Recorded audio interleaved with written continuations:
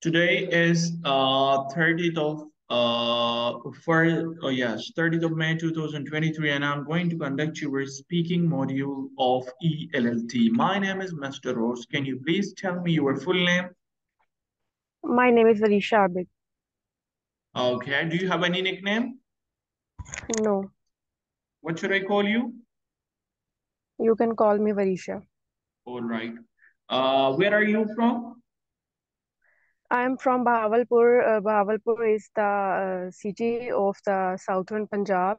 It is an important uh, city of uh, southern Punjab and well-known uh, city, and uh, it is considered as 12th largest city of Pakistan. All right. So my first question from you, can you please show me your ID? Can you please show me your room? That's fine. Thank you.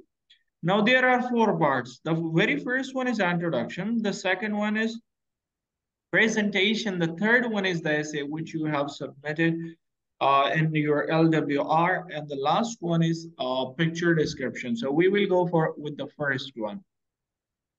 So why do you want Okay. to go to the UK? Uh, I selected UK for higher studies because uh, uh, UK has the most top-notch universities. Uh, courses are up to date. They provide a smooth education system and they allow students to complete their studies in shorter period of time uh, as compared to the other countries like Canada, Australia, and America.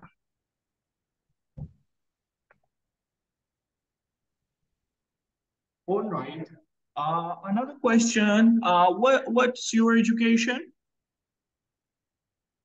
Uh, I'm doing my bachelor's program currently. I'm enrolled in eighth semester. All right. Uh, so what subject have you selected in the UK? I'm selected um, MSc Education Studies in UK. So how does it relate to the, your previous study? Uh, it's it's completely related to my previous studies because I am currently doing BS Education, uh, and the subject that I choose is MSc Education Studies. It's completely uh, based to my previous studies. All right. Uh, uh, what what what do you do in your free time?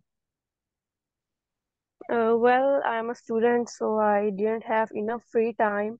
But sometimes when I feel bored or I am alone at home, so I prefer to hang out with my friends, watch movies, and do some shopping. All right. Now uh, we shall move to the second part, which is non-presentation. Your presentation talk uh, topic would be up to three minutes, not less than three minutes, not more than five minutes. You can start your presentation by saying, "With, I'll begin my presentation." When you end the presentation, you could you should say, "Thank you for your attention." So yes, you can start your presentation now. I'll begin my presentation now. My presentation topic is interpersonal communication skills. Uh, so first of all, I will say that uh, interpers about interpersonal communication skills. Interpersonal communication skills is basically a skills uh, that we need to communicate uh, with other person. Uh, without interpersonal communication skill, we can't uh, communicate with other. Uh, we can't communicate with others. So it is important. Uh, now I'll uh, say that uh, uh, there are some major points in it. First of all, I will discuss about active listening. Active listening is um, is involved in interpersonal communication skill because it is uh, it involves eye contact uh, when we want to communicate with other person. It is uh, it is important that we have a proper eye contact uh, to the uh, person. Uh, uh, without communication skills, we don't know about other person feelings, other person thoughts, and what the other person, uh, what the other person's ideas and other things. Uh, and um, interpersonal uh, communication is uh, uh, basically uh, uh, basically a communication skills and um, uh, that uh, I think every person uh, must have adopt. And uh, uh, there are many benefits of interpersonal communication skill because when we talk to someone, when we have uh, uh, uh, communicate with someone it improves our uh, communication it improves our teamwork uh, and uh, i think it's uh, provide a, smooth and friendly behavior to the others and to someone and uh, communication interpersonal communication is is also used in students and offices and other other institutions. Uh, communication uh, skills is basically uh, um, communication skills is basically an important factor and that is considered much more in the every country and uh, nowadays uh, uh, emotional intelligence is very relied emotional intelligence is a part of interpersonal communication skills uh, because it is not a, a simple communication or simple uh, wordings. Emotional intelligence uh, uh, is rely on interpersonal communication skills because when we when we feel and what what we feel we can speak and with our including our emotions. And there are some also steps uh, to improve our interpersonal communication skills.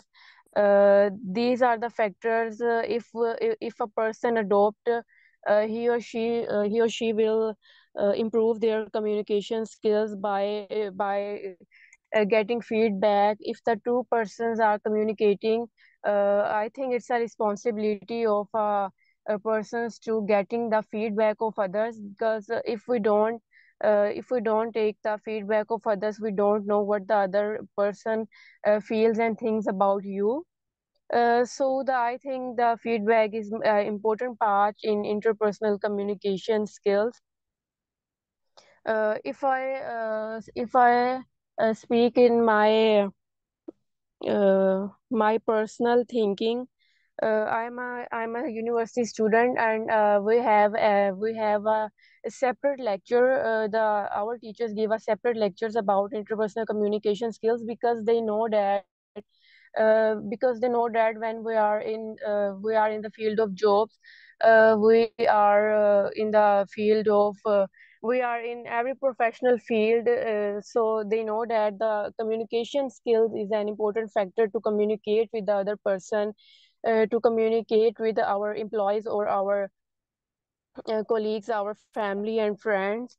Uh, so they give us uh, uh, extra lectures on on special on these communication skills. Uh, so I think it is an important factor. We have to develop a good communication skills, not only a not only a communication because communication is a single thing and active communication or teamwork and interpersonal communication is other thing. Uh, communication uh, must be a simple easy and um, uh, in that wording that every uh, person and everyone should easily understand and uh, easily understand your language and you must have a teamwork and you must you must have to uh, uh, give feedbacks to the persons. And now i'll uh, ex explain about the verbal communication uh, and, oral communication. Uh, it is uh, communication are, are of many types. Verbal communication interpersonal communication teamwork communication emotional communication active communication. But I, i'll say that the active communication is uh, important because active communication and active listening involves um, eye contact and face-to-face communication between two persons. Uh, when a student or when an individual um, uh, when an individual uh, can communicate in active communication, uh, it will enhance their speaking power. Uh, it will it will also enhance their motivational power because it is a face-to-face communication uh, and um, uh, in conclusion i'll say that the interpersonal communication skill is important to every individual to every person uh, because every person have to communicate with others and um, uh, he should adopt a good communication skills and uh, he must adopt smooth communication skills and also give us a feedback and uh, to others. Um, this is the end of my presentation. Thank you for your attention.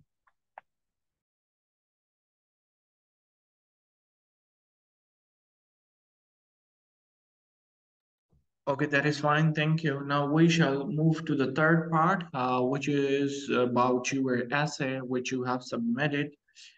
So can you please tell me what was the topic of your essay?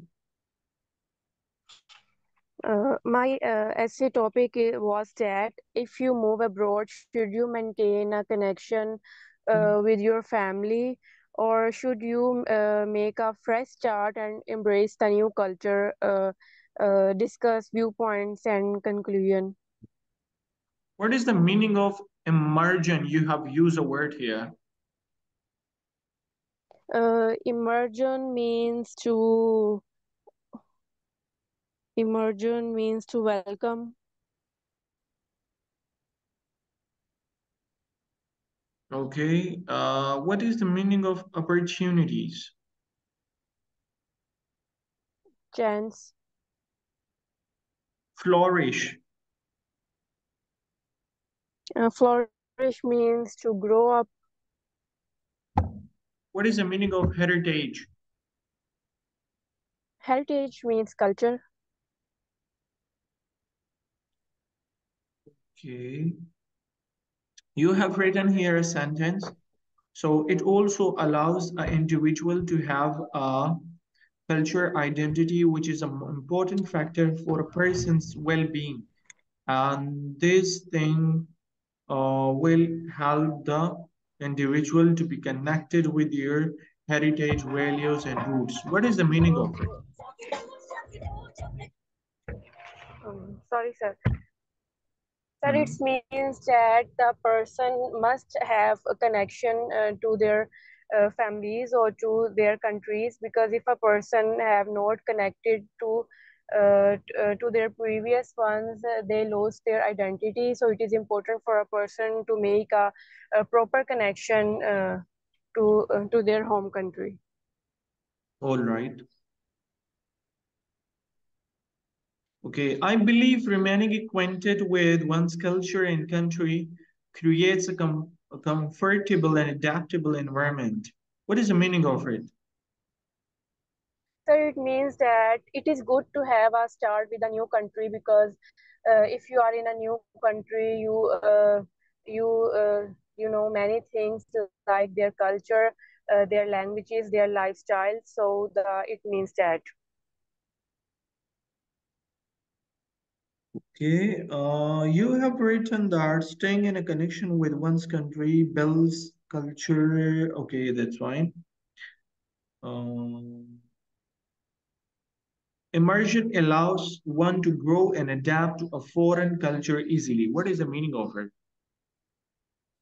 Uh, immersion allows or it means that immersion means obviously con uh, uh, concentration if we concentrate in the new country uh, we will adopt many things. We know about their culture their lifestyle uh, their work and their languages also.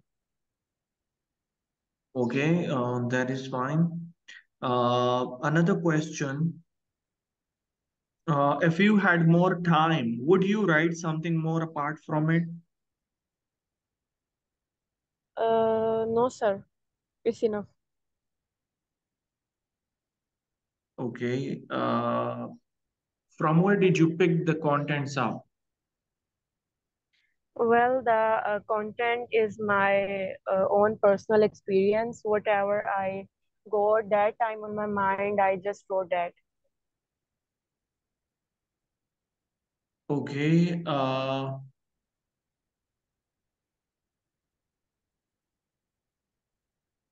Okay, that's fine. Uh, thank you. Now let's move to the second, uh, uh, to the last part, which is non-picture description. So let's let's move to this.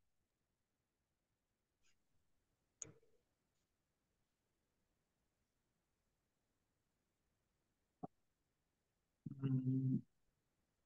So let me show you a picture.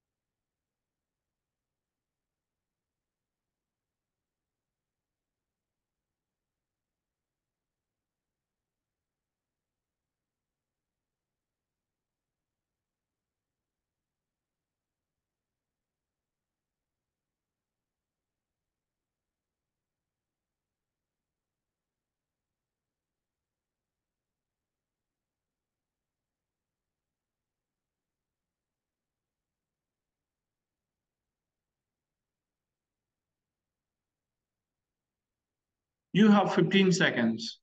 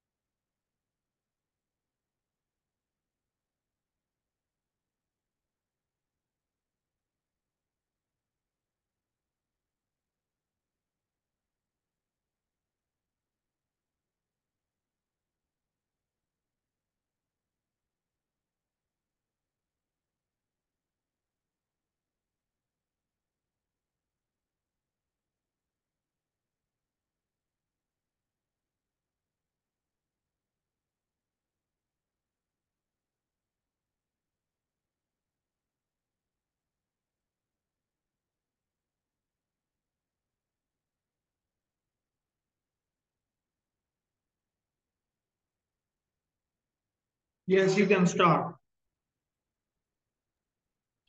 Um, well, the picture I can see on my uh, laptop screen uh, is that there are two persons uh, uh that uses their mobile phones instead of any uh, personal and uh, face-to-face -face communication. they prefer to use mobile phones instead of instead of talking with each other and uh, I the what uh, in the picture I feel that there is a big communication gap between these two persons uh, because they use their mobile phones and they are busy in their uh, smartphones.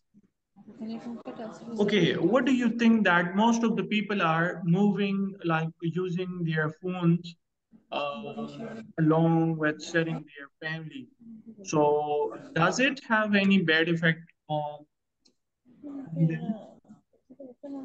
Obviously, sir, it has bad effect.